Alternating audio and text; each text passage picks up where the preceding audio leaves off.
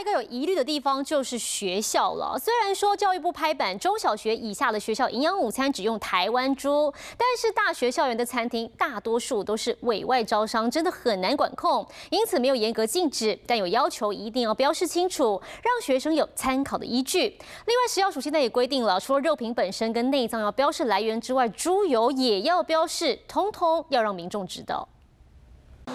今天是想要吃披萨，还是想来份猪排套餐？大学校园想要找吃的，应有尽有。不过这些学校委外的餐厅，美猪给劲吗？大学这种形态的部分，就是清楚标示，让呃这个消费者，帮我们的学生是可以清楚的知道。那进了，你会不会担心啊？希望说可以看得出来那个餐点上是哪一种品种的肉吧，然后让学生有个参考的依据。标示清楚会。让有就是人家比较有选择的权利，不然其实对不知情的人吃下去还蛮不公平。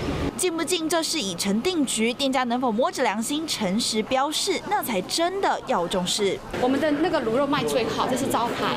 中秋月饼就是不能少了这一味，香酥口感配上饱满馅料，好吃的秘诀就是猪油。而这猪油哪里来？现在也得让民众知道。卤肉绿豆碰、咖喱绿豆碰里面都有添加猪油的成分，包装上面还有我们的盒子上。上面都有标示，每一个牌子上头都写明猪油的产地来源。明年美猪进口正式上路，食药署规定，许多隐藏版的猪肉再制品也全部都要标示产地。只是怎么标，执行的是否彻底，除和店家的信誉做担保，政府也要严加把关。华视新闻雷亚戴荣贤台北报道。